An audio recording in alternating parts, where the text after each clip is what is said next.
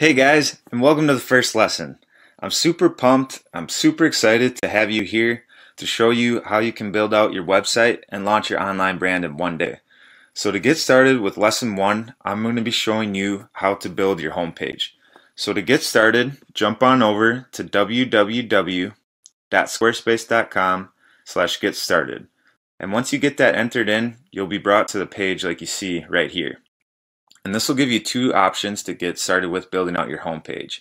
You can start by browsing templates, or you can start by building out a custom website.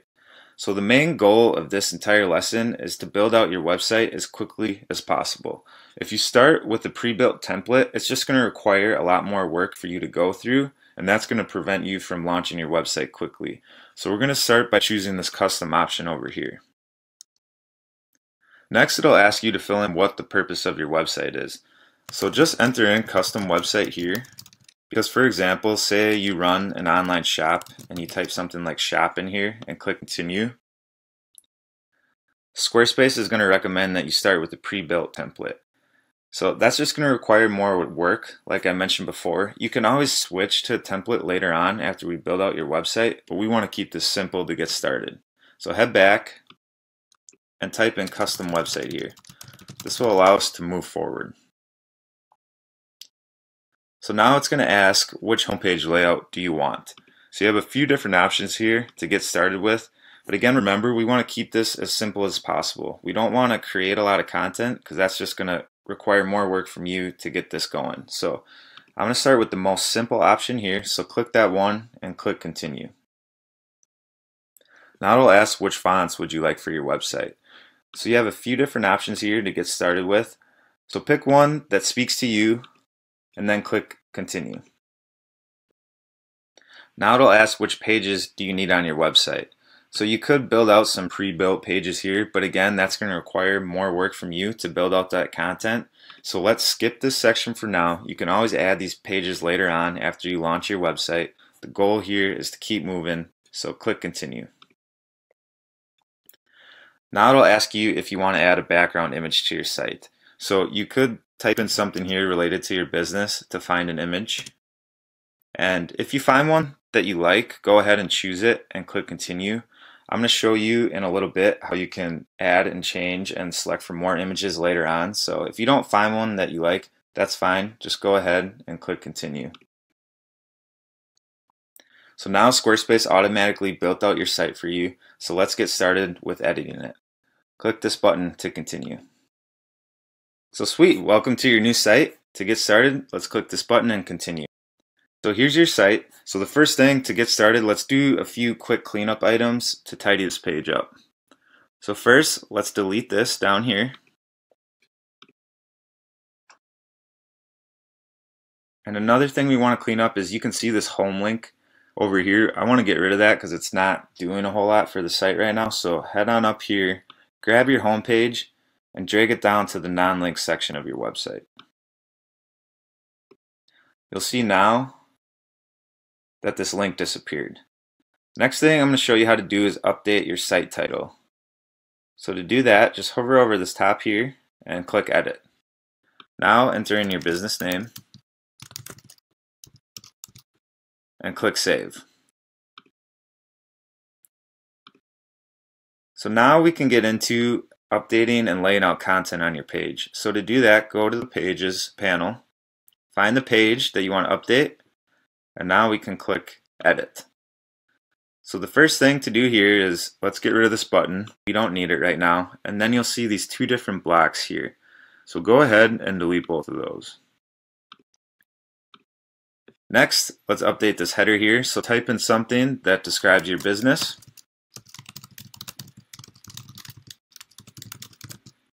And now I want to add a description down below to explain this header a little bit more, to explain my business some more. So hover over your page and find one of these icons here and click down. And now we're going to add a text block under here. So here is where you can type in a description or you can copy and paste it. So now that we have that in there, I'm going to take these two spacer blocks and put these on the side of both of my texts. Just want to get this lined up. And now Grab those spacer blocks and space them out evenly on both sides.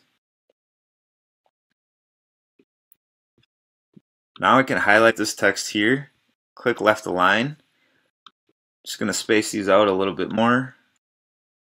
And there, now our text is really aligned nicely and we have a nice design here. The next thing I'm going to show you how to do is add a call to action or a form to your website. So if someone lands on this page, we want them to be able to get in touch with you. So to do that, click here and search form. Let's add that form in here and you'll see it builds it out. So to get started, let's give this form a new name.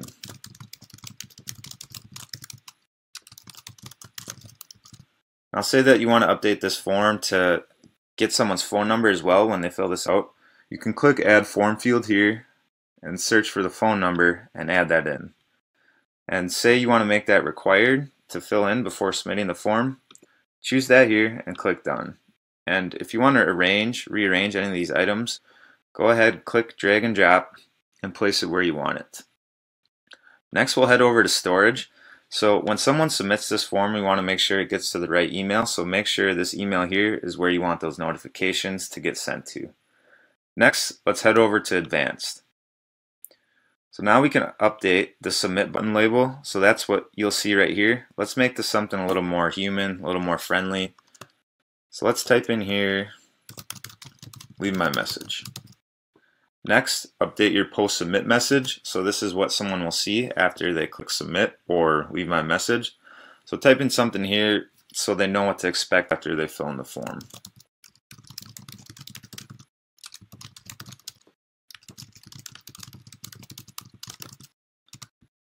And now let's scroll down and something really cool here that we're going to do is enable this lightbox mode.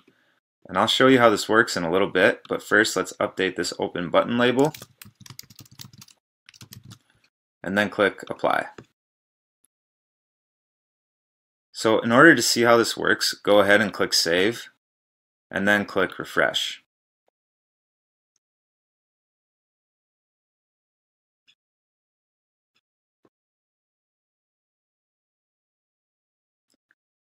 So now when we click on this button here, you'll see the form pop up in this light box. So it's a real cool way to have someone get in touch with you and so that this form doesn't take up your entire page.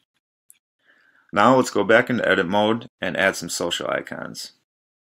To do that, hover over here and type in social and grab the social links.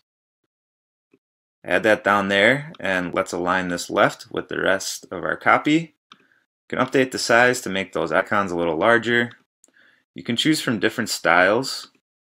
And in order for you to see these a little bit better, let's let's change this to light and then click apply.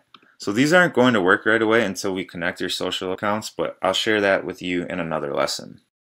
So the last thing to take care of here is updating your banner image. So say you didn't like this image that you started with, we can update your banner image by going here and clicking banner.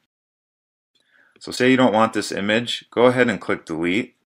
And here's where you can upload an image, say that you already have on your desktop that you like, or you can search for more stock images for free from Unsplash. So type in something here to find different images. Find one that you like, and then click add to site. So once you click save here, this new image will update in the background, but I do want to share one more option for you, and that's the video background. So say you have a, YouTube or a Vimeo URL for your business, you can copy and paste that URL here and it'll show on the background of your site. One thing to note, if you do go that route, make sure to update your mobile fallback image so if someone comes to your site on a cell phone, they'll see this image instead of the background video. But for now, I'm going to continue with the image background and click Save. So there we have it. We have our content nicely laid out. We added some social icons, updated your banner image. Now we're going to update the styling of your homepage to make it more visually appealing for your visitors. So to do that, let's go back here, click design, and then site styles. So the first thing I'm going to show you how to do is to add an image overlay color. So you can see right now this text is a little bit hard to read. So to do that, Hover over your website until you see this blue line around the entire section. Click down and then search for overlay color. Click there and then choose a section in the black area here and then grab this little icon and drag this over and you can see how this starts to get darker and it's easier to read your text.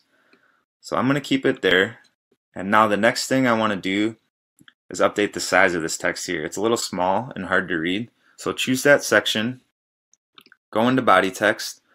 First I'm going to update the weight so this will make it a little bit thicker, easier to read. And now I want to update the size here to about 18. So that looks good.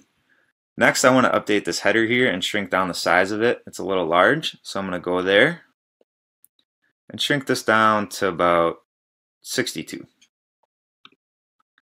Now, I want to update the color of this button here. The black doesn't really fit in with the rest of the site and it's hard to read. So click that button. You can start by choosing a style. So I really like the outline style. You can see it's outlined in black now. So I want to update this color to white so that it matches with my site.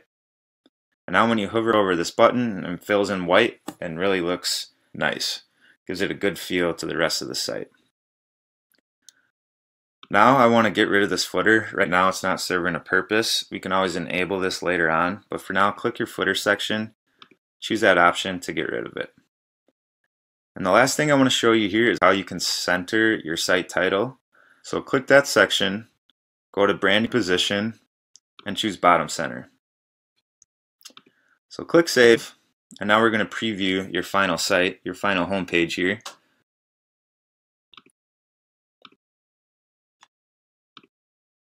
And there you have it. You successfully builded your homepage, added some content, added a way to get in touch with you, uploaded your background image, and styled it to make it really, really nice, visually appealing for visitors coming to your website. So go ahead, walk through this, complete your homepage. Once you get that done and completed, we'll walk through the next lesson to get you ready for launching your website.